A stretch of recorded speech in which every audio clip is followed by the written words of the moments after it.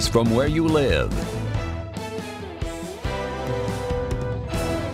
All right, welcome back. Let's head over to the weather wall where Lisa Montgomery is awaiting our arrival. Lisa, very chilly out there this morning. I just got, I just got an email from a viewer. Uh oh. And I'm gonna have to call you out, ma'am, just because that's just how I am. But I love you. She was wondering why we didn't talk about whether or not Purdue won yesterday. Why what? Whether why whether or not Purdue won yesterday. Oh, because it's just too hard to talk about, I would say. Wonder if she knows the score. It's cold out there this morning.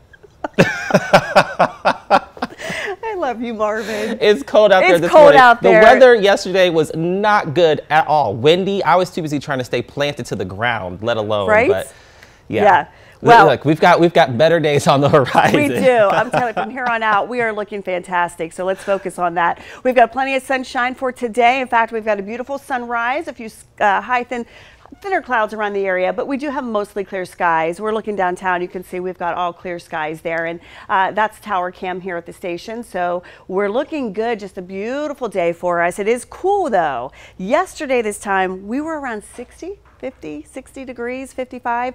Uh, Right now, it is in the 40s, so a big difference, a big change for us. You need a jacket this morning. 45, but we do have the mostly sunny skies at the Purdue Airport. Dew point is at 40. The winds are calm this hour, so nice and quiet for us this morning, but a little on the cool side. We will see those winds pick up later this afternoon. Not like yesterday, but we are looking at some gusts as high as 30 miles an hour possible. Temperatures right now, everybody in the 40s. We got 46 in Rochester already, 42 in Crawfordsville, Lafayette 45, Monticello 45, 43 in Fowler. Good day to get out there today, get the doggy outside, enjoy, get that walk in. We're looking at 60 degrees by noontime with mostly sunny skies, and we'll reach our daytime high around 3 o'clock with 64.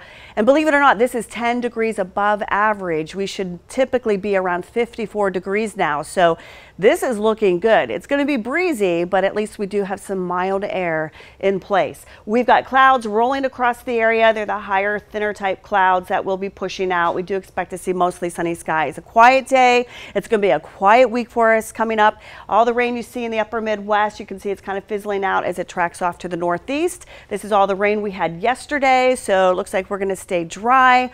A nice weather pattern for us for all this week. Enjoy because we've got some very cold air moving in for next week. The winds you can see already by 3 o'clock. We're looking at those uh, wind gusts up to 25 to 30 miles an hour. So again, it will be on the breezy side. Those winds will calm down for tonight. And then we're looking at a fantastic work week. We've got quiet conditions, but we've got that south southwest wind.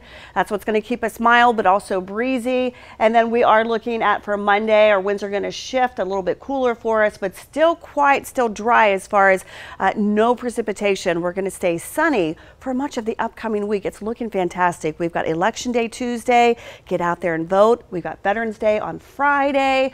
So we're looking good here. Breezy today, 64 with mostly sunny skies.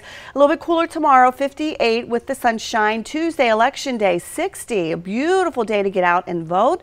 69, so near 70 on Wednesday. The same for Thursday. Fantastic. And then Friday, we do have a chance for some rain around, and that's really going to cool us off by next weekend. Saturday's high only 40 degrees, Marvin.